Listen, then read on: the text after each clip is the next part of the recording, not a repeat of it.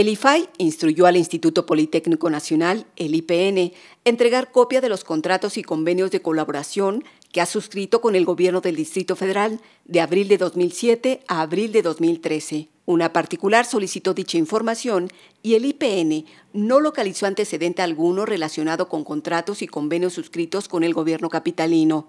Inconforme, la particular interpuso un recurso de revisión, el cual fue turnado a la comisionada Marielena Pérez Jaén. Derivado de la investigación, la comisionada concluyó que al realizar una búsqueda en fuentes oficiales de información, se encontró que a través del portal electrónico del proyecto Metro es posible acceder a dos convenios específicos de colaboración que celebraron el gobierno capitalino y el IPN. A propuesta de la comisionada Marielena Pérez Jaén, el Pleno del IFAI revocó al IPN la inexistencia e instruyó una nueva búsqueda exhaustiva de la información.